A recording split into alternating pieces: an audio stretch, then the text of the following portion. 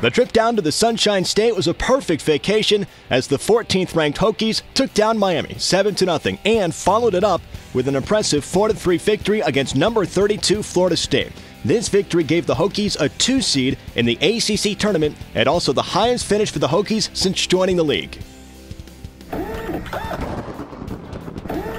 The 38th ranked women's tennis team wrapped up its regular season with a tough 5 2 loss to Virginia. But the Hokies bounced back with a 6 1 victory against Louisville this weekend. The Hokies received a 9 seed and will take on Boston College in the ACC tournament. The match begins 3 p.m. Thursday at Cary Tennis Park in Cary, North Carolina.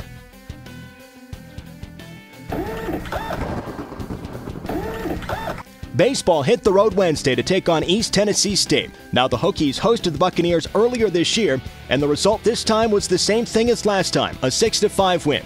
Over the weekend, number 23, UNC was in town for a three game series. Virginia Tech took the first one 8 3 on the back of a fantastic start by Kit Scheetz, but dropped the second game 11 10. And Mother Nature took the third game. It was a rainout. The Hokies are now 19 and 21 overall and 8 and 12 in the conference.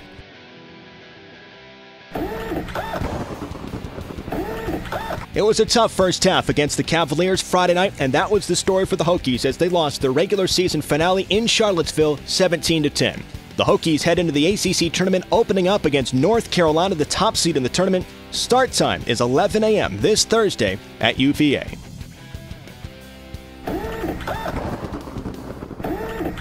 Just a ton of games for Tech softball this past week. Things started off on Wednesday against number 12 Tennessee at home. The Hokies dropped that game. Then on Thursday, Tech traveled to Liberty, where it split a doubleheader 10 1 the Hokies in the first game, followed by a 1 0 loss in the second. Over the weekend, the Hokies faced Pittsburgh on the road in a three game series. Tech took the first two games 6 3 and 5 2, but Sunday, a wild finish as the Hokies came up just a little bit short 6 5. Tech is now 32 and 13 overall with an 8 9 conference record.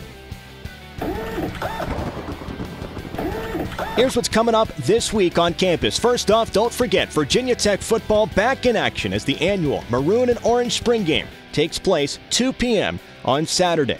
And then softball with a handful of games as well. Starting on Wednesday, Tech hosts Radford at 7 p.m. And then over the weekend and on Monday night, softball takes on NC State. Saturday at noon, Sunday at 3.30, and Monday night at 7 at Tech Softball Park. And thanks for clicking, and tune in next week for another episode of The Rundown.